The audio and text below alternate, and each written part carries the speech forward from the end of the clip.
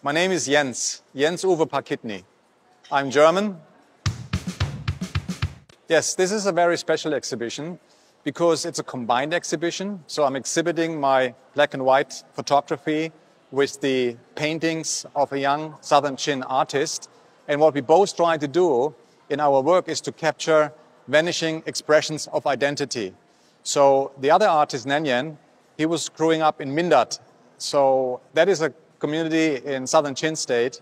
And his work is impressions of traditional attire, ceremonies, and rituals.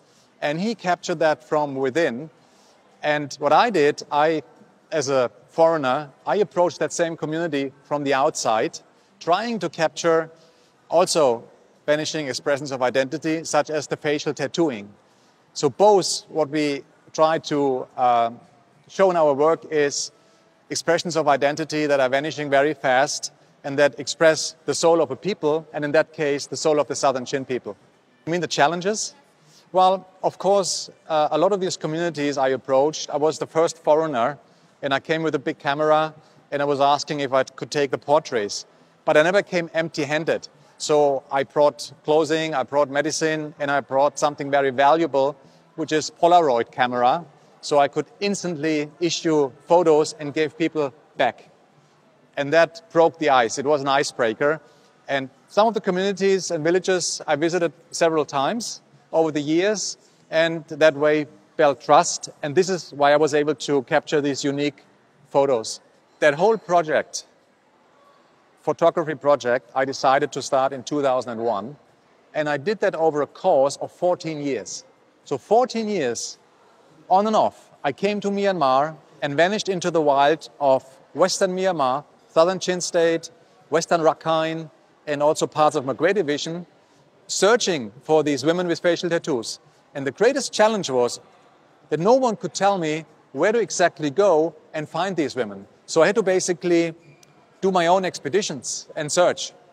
And um, that kept me on a quest for over 14 years.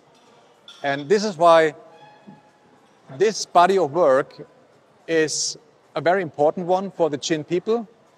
Um, and it's the only body of work in the world that documents the vanishing tradition of facial tattooing. There's no one else who did it so systematically over such a long time.